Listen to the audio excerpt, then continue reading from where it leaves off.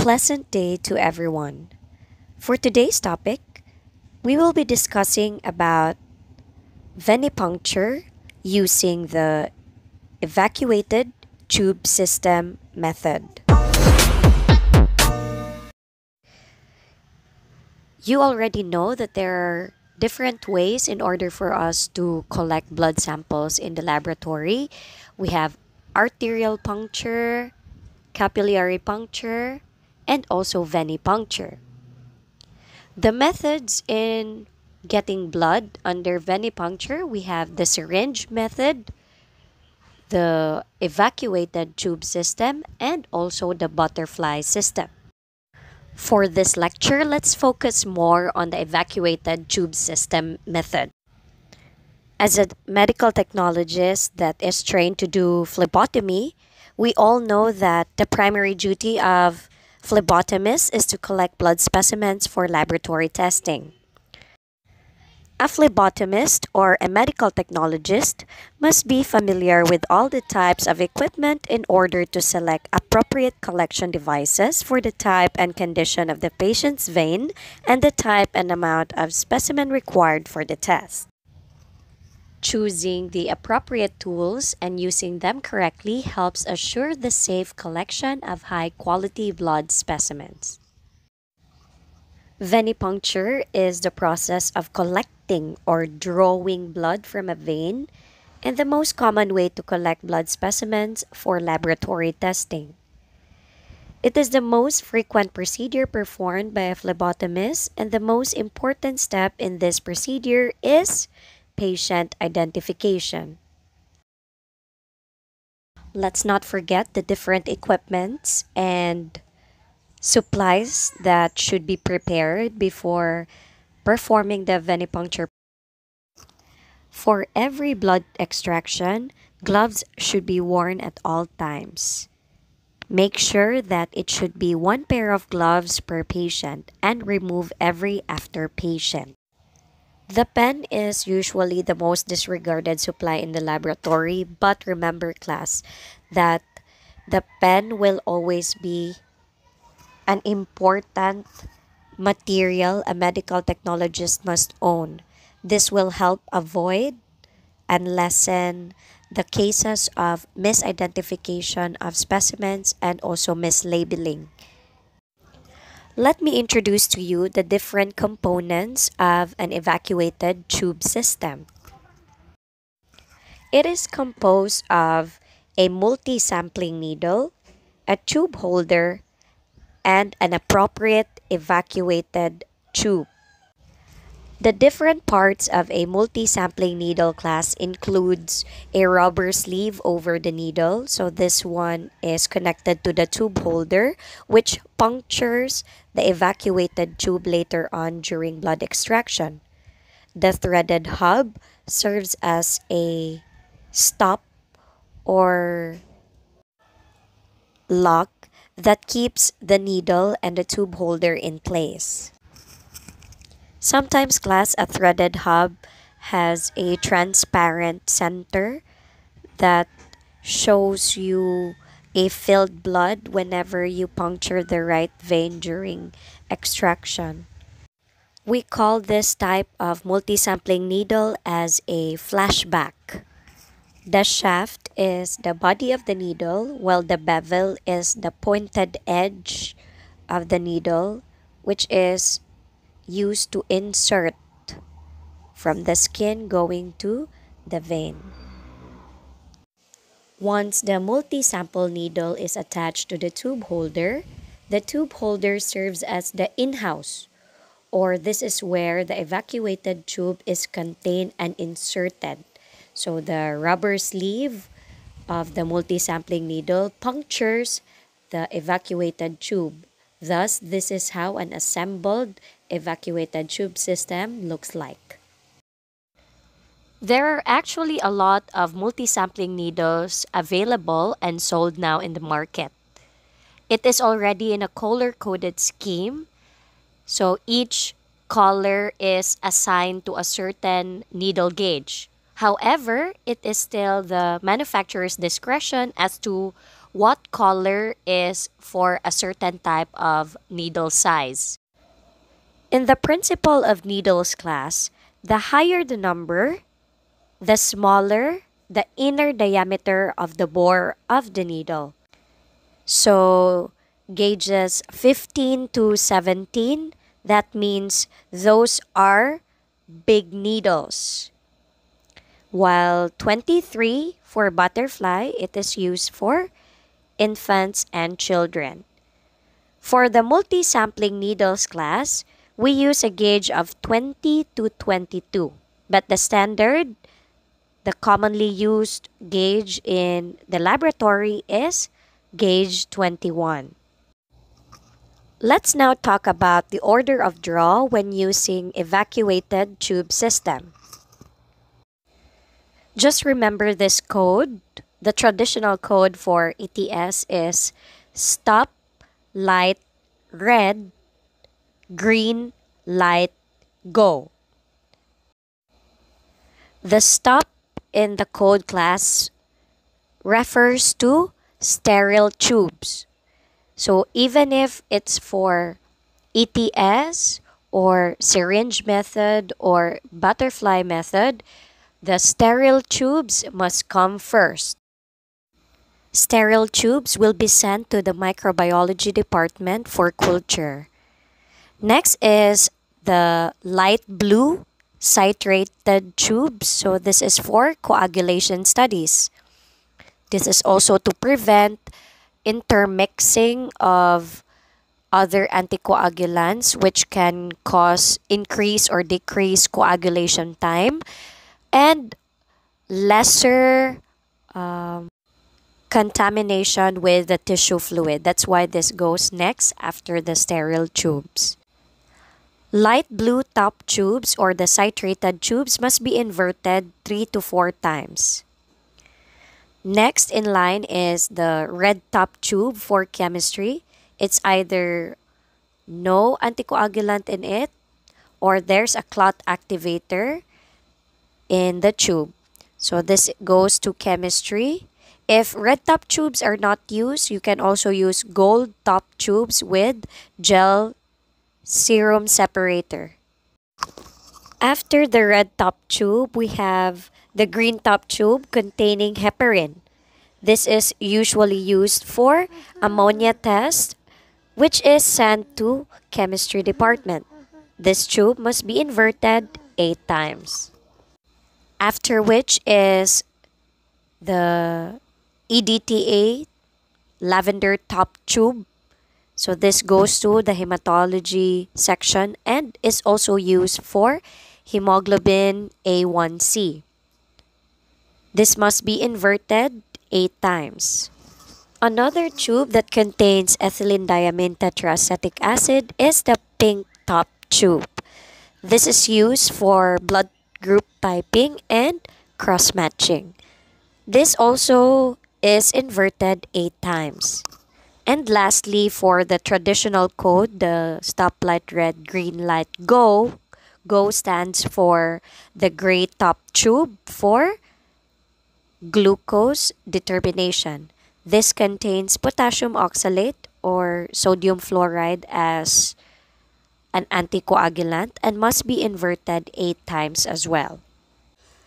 Aside from the traditional stoplight red, green light, go, we also have another order of draw acronym. It goes in this way Boys love ravishing girls like dieters love Greek yogurt.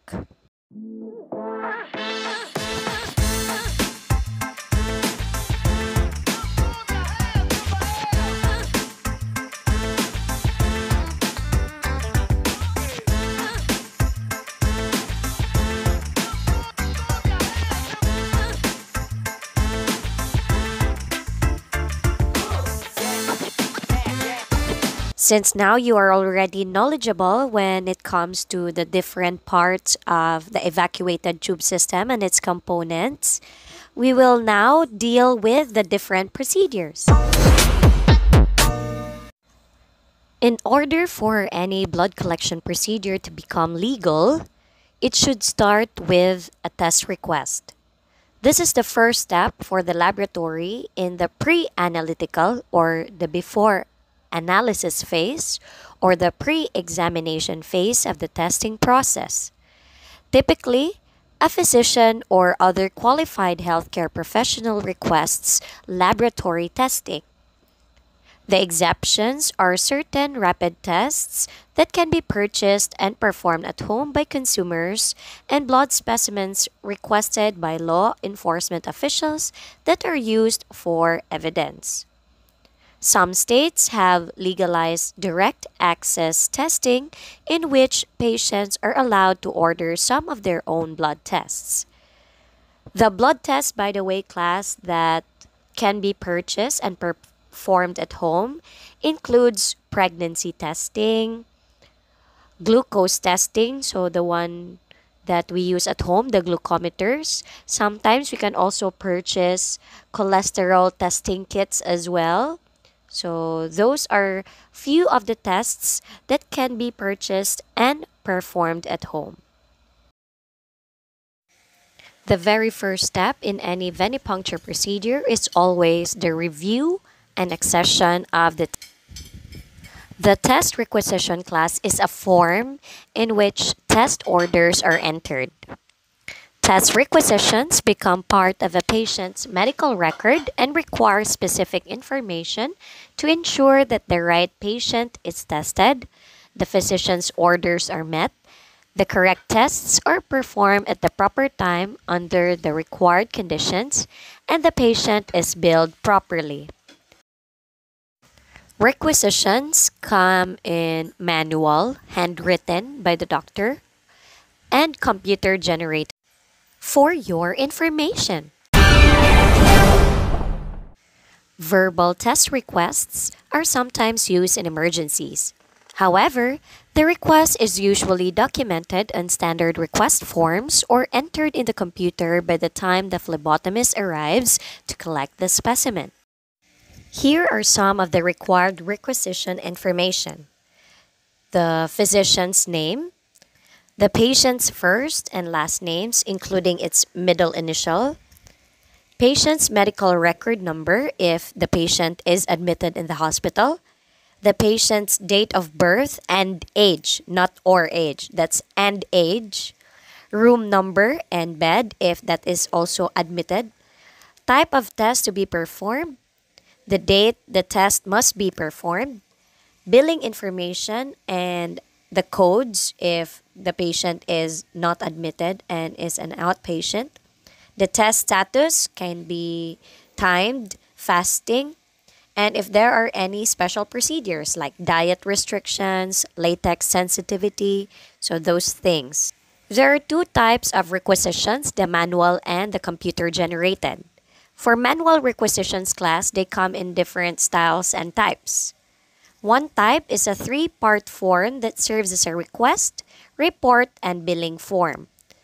But with the increased use of computer systems, the use of manual requisitions is declining. However, they are typically used as a backup when computer systems fail.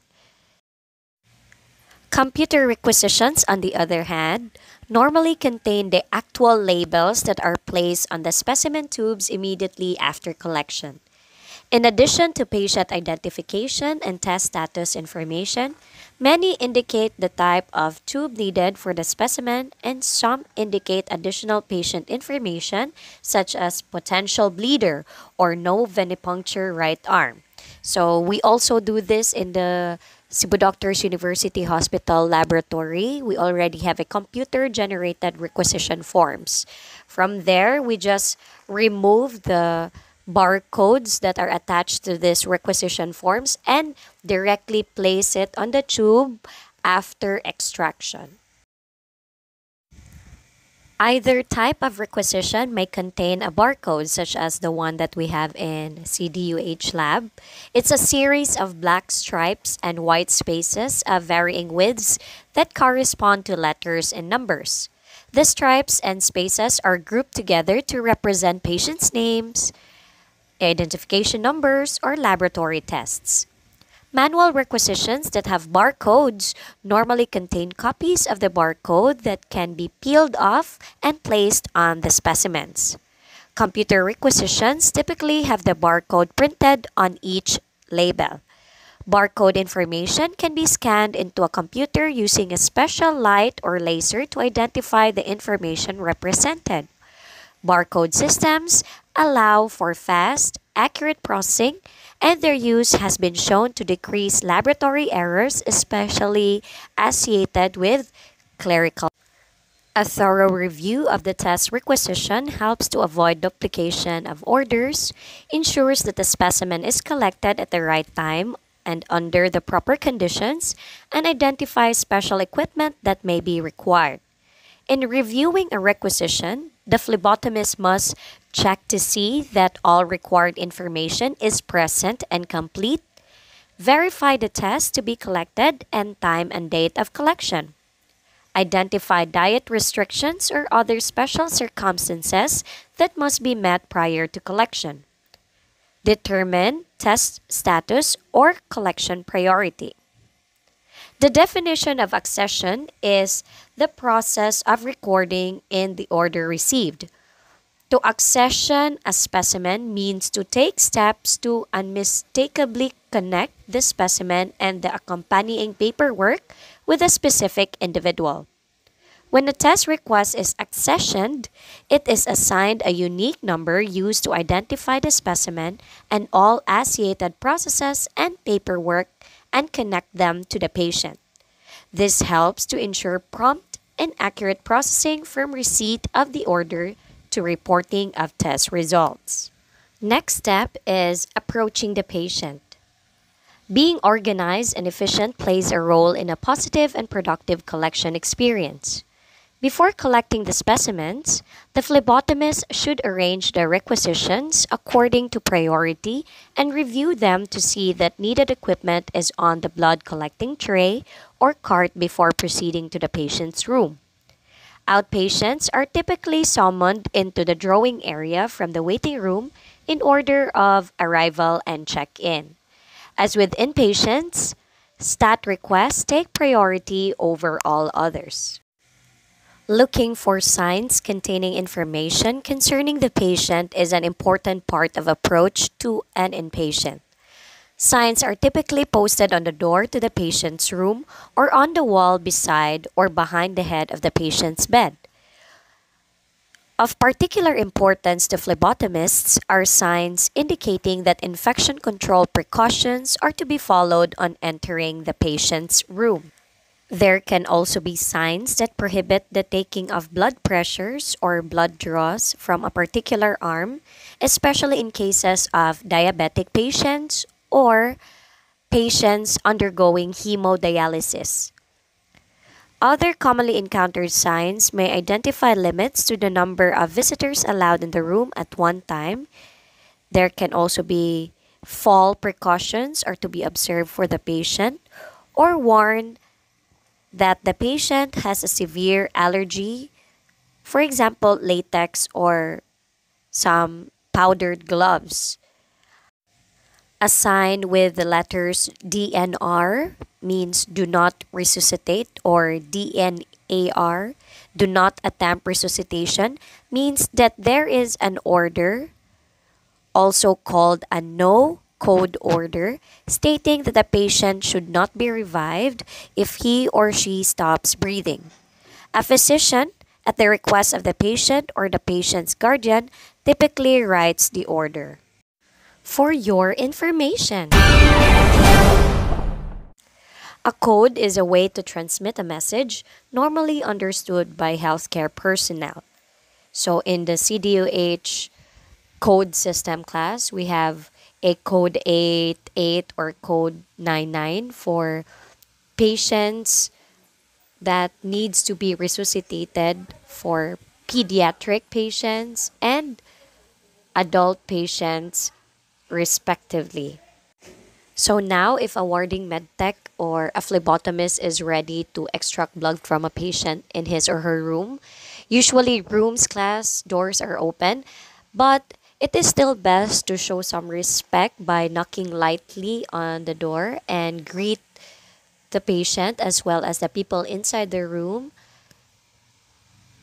Make your presence known before proceeding or doing some changes inside the room, like opening the curtain, so as to protect the patient's privacy and avoid embarrassment.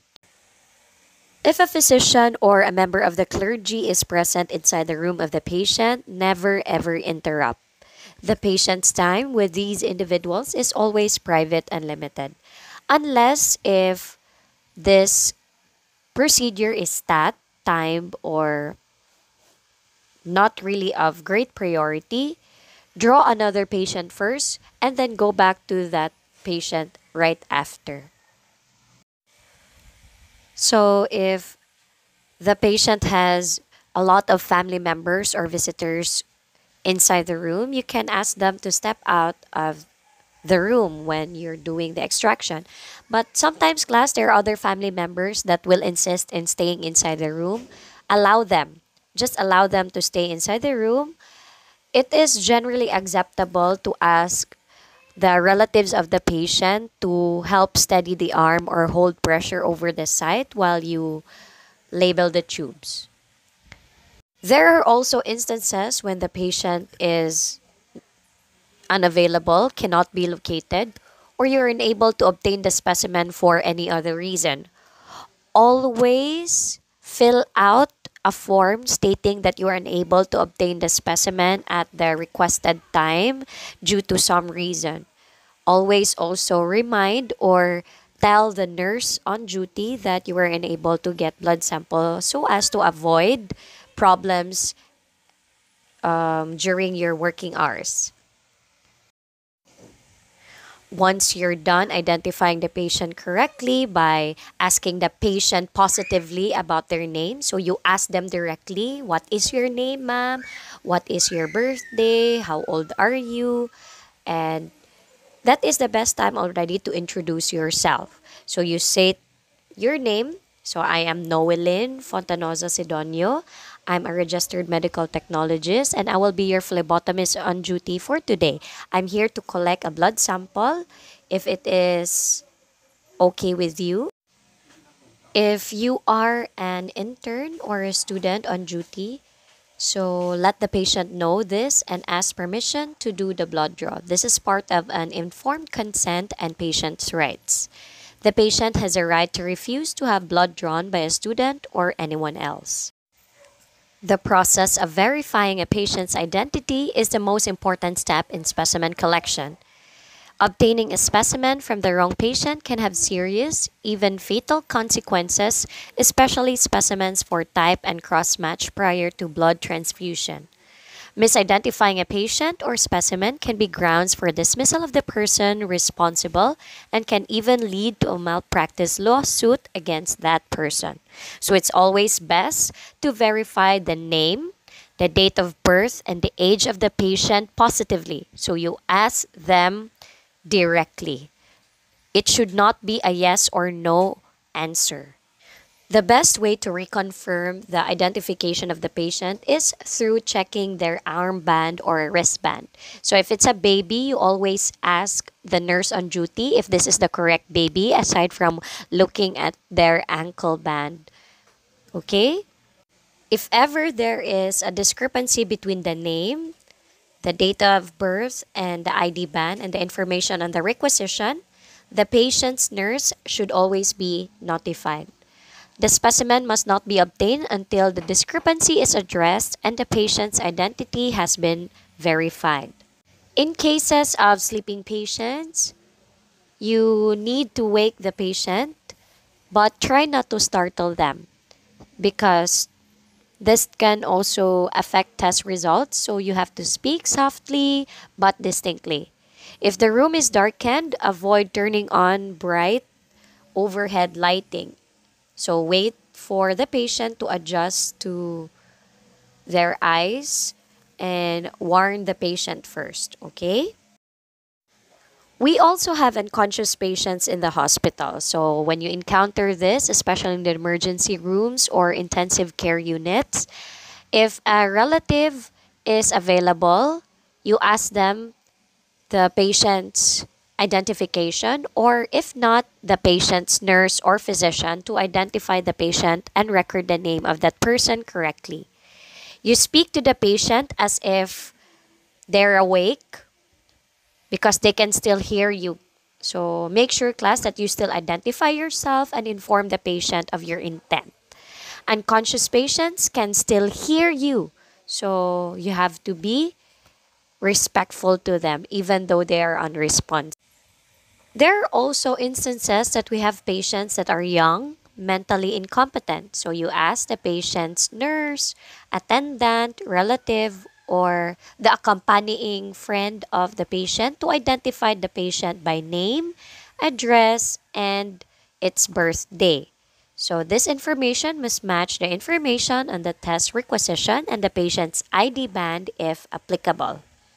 As what I have said a while ago, in identifying neonates or other infants, it is always best to check on their ankle bands. So that's found on the lower leg.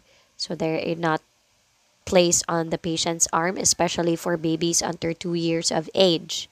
So you ask also the nurse on duty, the relative, or the guardian regarding the name of the baby, the date of birth, the gender of the baby, the medical record number, or any other unique identifier, and of course, the mother's last name or name of person provided at the registration. So, approaching the patient, identifying the patient correctly, this time you have to prepare the patient. So, by explaining the procedure of the blood test. A statement of your intent to collect a specimen for a blood test is usually sufficient for them to understand what it is about to occur. A patient who has never had a blood test may require a more detailed explanation. Special procedures may require additional information. If a patient does not speak or understand English, you may have to use sign language or other nonverbal means to demonstrate what is to occur, or if the patient needs to be explained through the mother tongue or the native language. So you also have to do that. If this fails, an interpreter must be located. Speaking slowly and distinctly, using sign language, hand movements, or writing down information may be necessary for patients with hearing problems. Remember, class, in preparing your patients, you have to also address patient inquiries. So you answer all their questions. So you also handle the objections of the patients professionally. There are also patients that are very difficult to handle. So you must always be cheerful and show a pleasant attitude and manner because you know class hospitalization or illness is typically a stressful situation. So you must always be considerate and understanding to the patient because they might be lonely scared or fearful or just plain disagreeable and may react in a negative manner towards you. Negative reactions personally okay we also have patients who have intense fear of needles or needle phobia. So, if that happens, you have to raise the legs of the patient while letting them lie down during the procedure. Apply an ice pack to the site for 10 to 15 minutes to numb it before venipuncture. Have only the most experienced and skilled phlebotomist perform the procedure. Sometimes this usually happens during blood donation class. So needle, not really necessary needle phobia, but um, the patient will experience lightheadedness.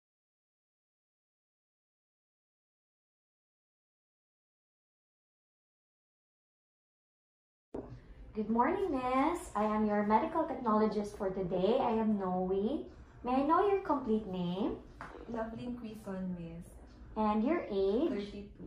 Date of birth? May 17, 1988. Okay, so for your test is CBC and lipid panel. Next is verifying diet restrictions and latex sensitivity of the patient.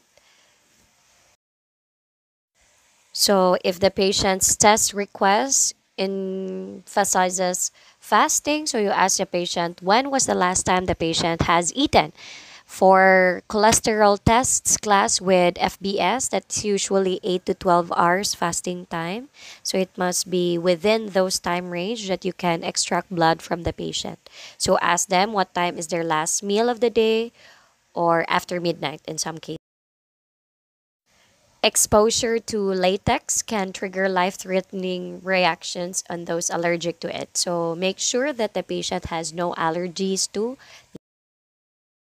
Have any diet restrictions, miss? So, ma'am. Um, when is your last meal? Um, 8 p.m. Okay.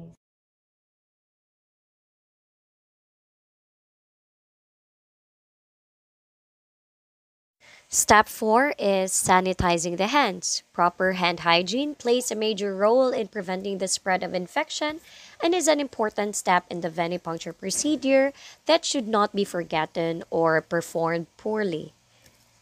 Some phlebotomists, especially me, I prefer to put on gloves immediately after hand sanitation. Others prefer to wait until after vein selection because they find it easier to feel veins without gloves on, but always follow facility protocol.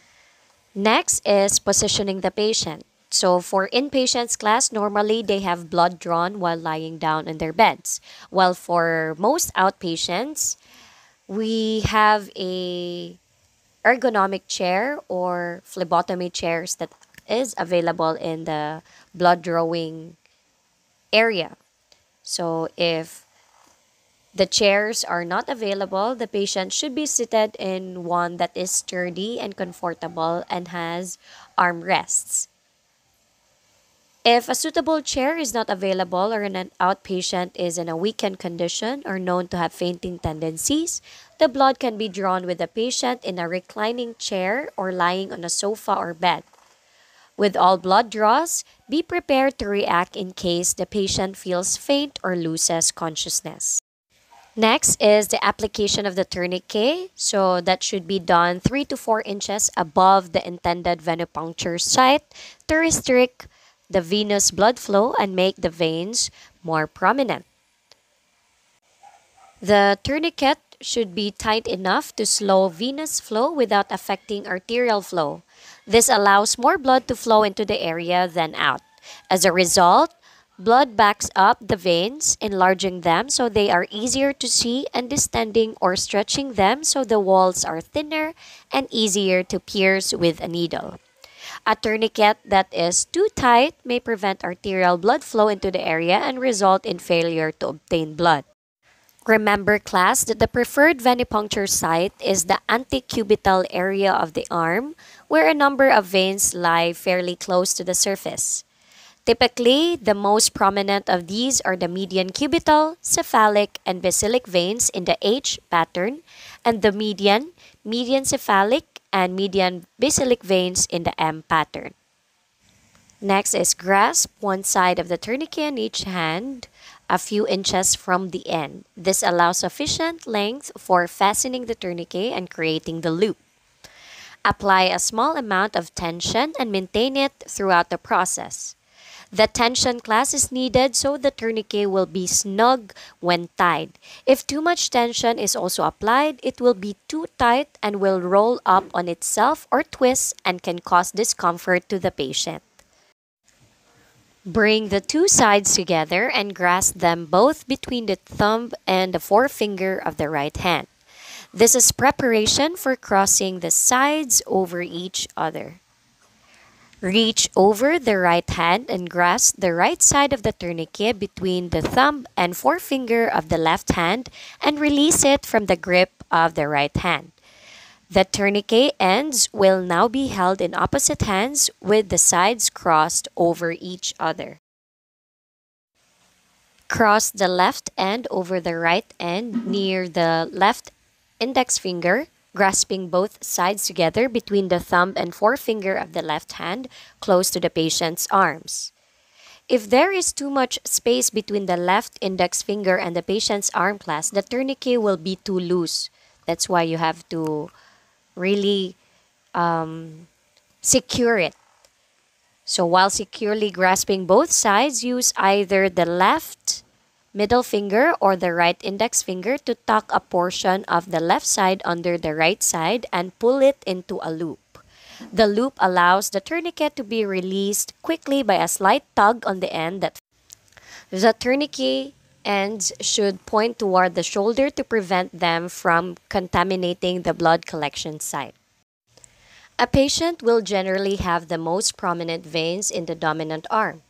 It should be examined first unless there is a reason that it should not be used. Some veins may be easily visible, others will have to be located entirely by feel. To locate the vein, palpate, examine by touch or feel the area by pushing down on the skin with the tip of the index finger.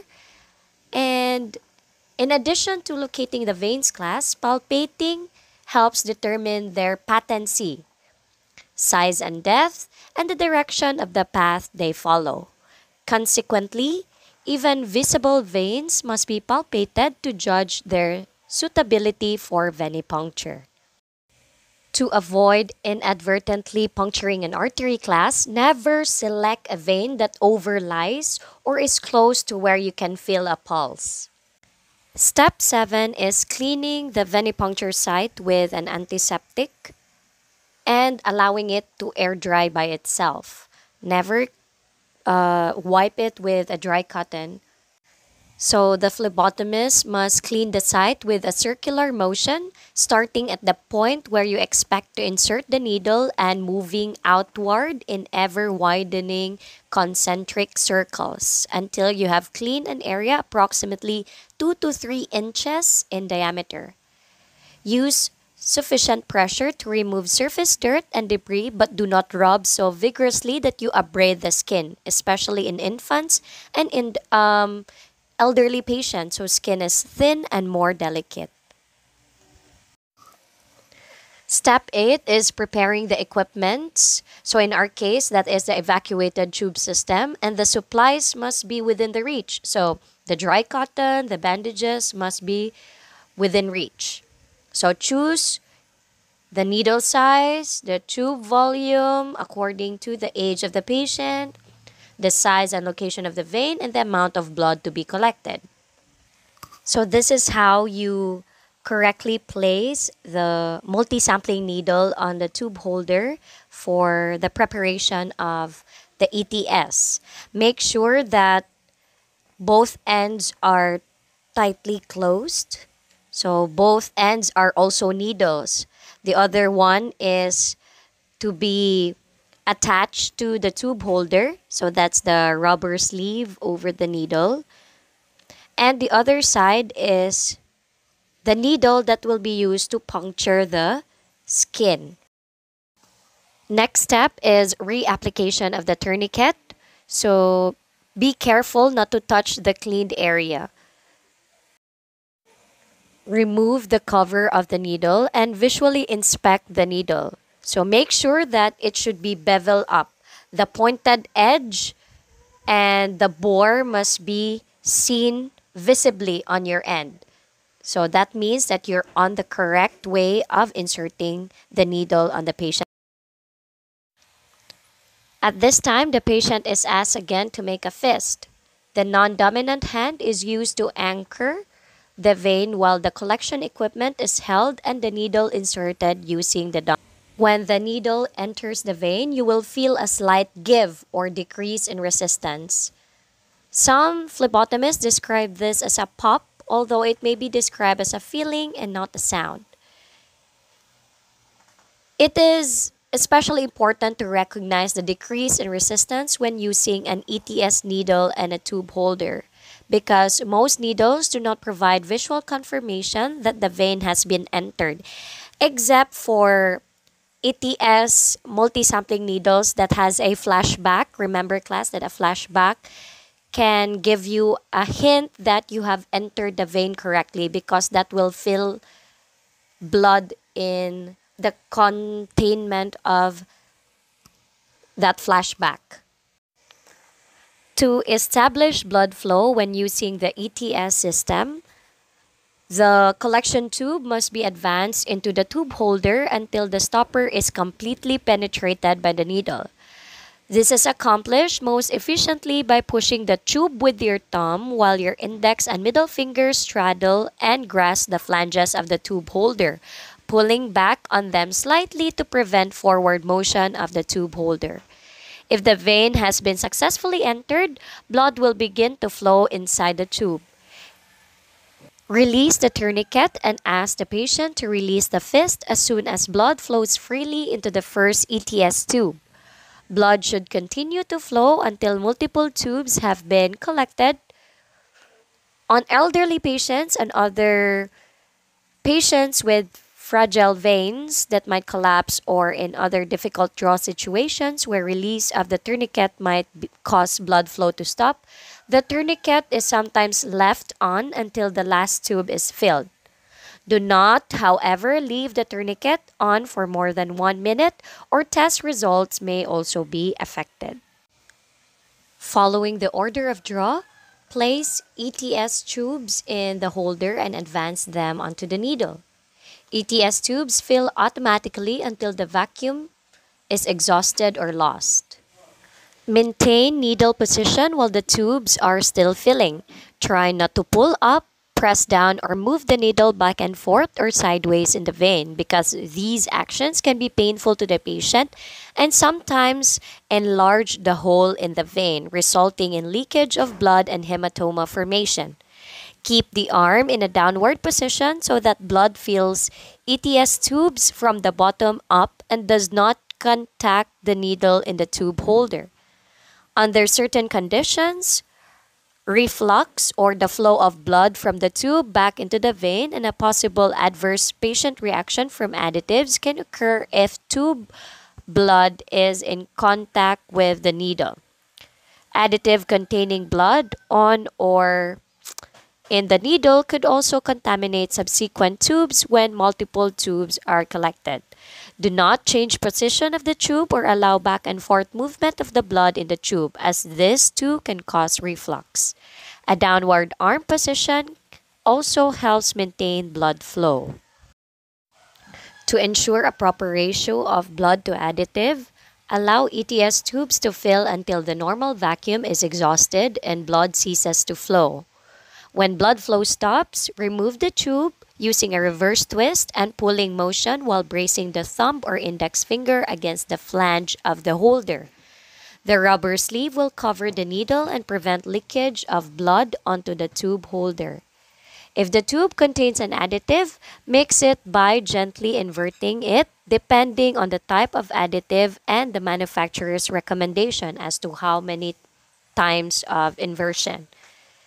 So, lack of delayed or inadequate mixing can lead to clot formation and necessitate recollection of the specimen. Non additive tubes do not require mixing. After the last tube has been removed from the holder, fold a clean gauze square into fourths and place it directly over the site where the needle enters the skin.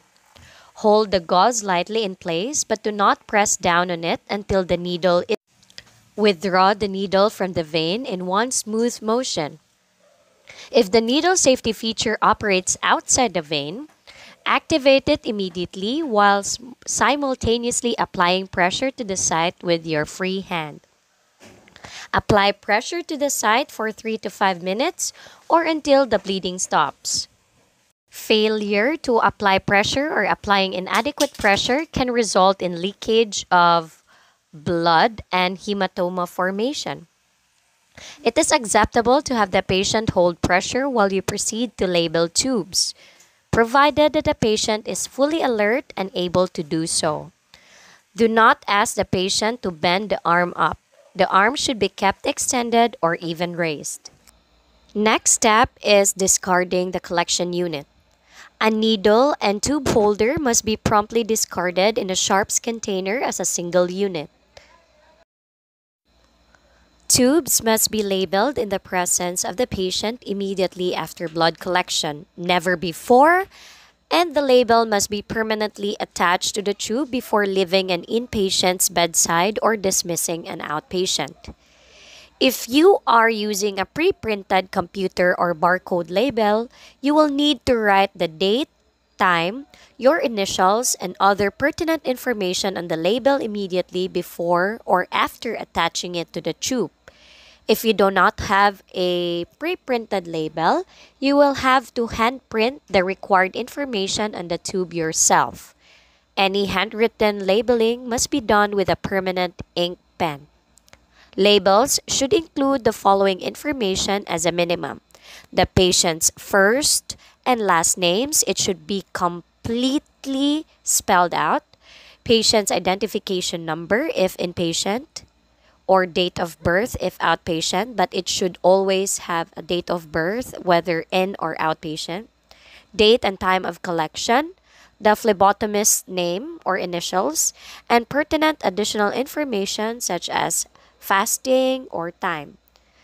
Before leaving an inpatient, compare the information on each labeled tube with the patient's ID band and the requisition. We usually show the labeled tube to the patient and ask the patient to verify that the correct name is on the tube. Both inpatient and outpatient tubes must then be placed upright in a biohazard specimen bag or other suitable container for transport to the laboratory. The next step is to observe special handling instructions.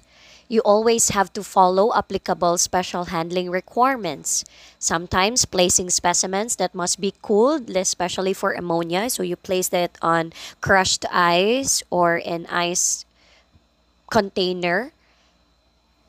Put specimens that must be kept at body temperature for cold agglutinin tests.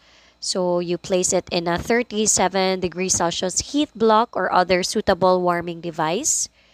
You can also wrap specimens that require protection from light as for bilirubin testing. So you place an aluminum foil or other light blocking material or place them in a light blocking container. This is to prevent the destruction of bilirubin due to exposure to light. Step 17 is to check the patient's arm once again and applying bandage. So examine the venipuncture site to determine if bleeding has stopped. If you are certain that it has already stopped, apply an adhesive bandage over the site. If the patient is allergic to adhesive bandages, apply paper tape over a clean, folded gauze square. If the patient has sensitive skin or is allergic to adhesives, place a folded gauze square over the site and wrap gauze around it, fastening the gauze with paper tape or wrap the site with a self-adhering gauze-like material such as a Coban. Instruct the patient to leave the bandage on for a minimum of 15 minutes, after which it should be removed to avoid irritation. Instruct an outpatient not to carry a purse or other heavy object or lift heavy objects with that arm for a minimum of one hour. Cleanliness is always next to godliness, so make sure to dispose of contaminated materials in the proper biohazard containers or according to facility protocol. Place other materials such as needle caps and wrappers in the trash receptacle. Make sure that you have your tourniquet and that other equipment is returned to the proper place. But sometimes, class, in the hospital setting, one patient, one tourniquet policy. So the patients, especially admitted patients, they are given a tourniquet. Once you're done, Thank the patient for his or her cooperation. This is courteous and lets the patient know that the procedure is complete. Remove your gloves aseptically, discard them in the manner required by your institution, and sanitize your hands before leaving the blood drawing station or the patient's room. Last but not the least, transporting the specimens to the laboratory or designated pickup site in a timely fashion. Prompt delivery to the laboratory protects specimen integrity and is typically achieved by personal delivery, transportation through a pneumatic tube system, the one that you can see in Chong Hua Hospital. There's a pneumatic tube there as well as in Vicente Sotto Memorial Medical Center. They also own a pneumatic tube system or arrange pick up by a courier service. The phlebotomist is typically responsible for verifying and documenting collection by computer entry or manual entry in a logbook. That is all for our lecture for today. Thank you so much for listening. Please don't forget to like this video, subscribe to my channel, and click the notification button so that you will be prompted for new videos. God bless us all and keep safe. See you soon.